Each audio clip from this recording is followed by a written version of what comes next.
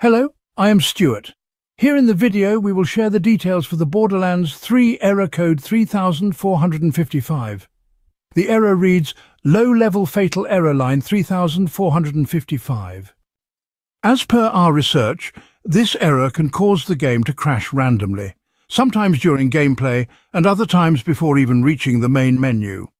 Some players have reported that verifying game files temporarily fixes the issue, but the crashes eventually return.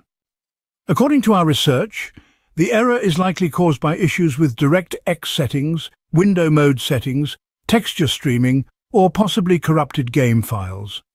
But don't worry, we have found multiple fixes that may help resolve this issue. First, try setting your graphics settings to DX11. Many players have reported that switching from DX12 to DX11 resolved the issue for them. So give this a try and see if this helps. If the error still comes, then check if you are running the game in borderless window mode, especially if you are using a second monitor.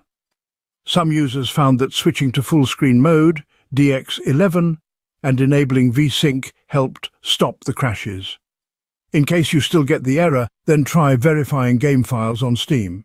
If the issue is caused by a corrupted file, verifying files should fix it. To do this, go to Steam, find Borderlands 3, right-click on it, select Properties, go to Local Files, and click Verify Integrity of Game Files. If you don't have any corrupted files, try running the game on a single monitor in full screen mode. Then, lower the texture streaming setting to medium while using DX11. If you are playing on Xbox, some users have fixed this issue by deleting all purchased cosmetic add-ons from their console. It may sound strange, but if you have any cosmetic DLCs installed, try removing them and check if the error persists. If none of the previous fixes work, try lowering your texture filtering settings instead of changing DX settings.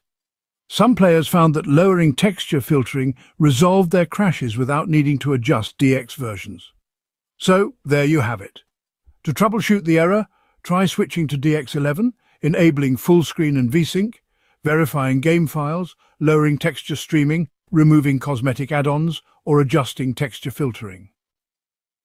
Thanks for watching. If this video helped, don't forget to like, share and subscribe. Have any questions or issues? Drop them in the comments below. See you in the next one.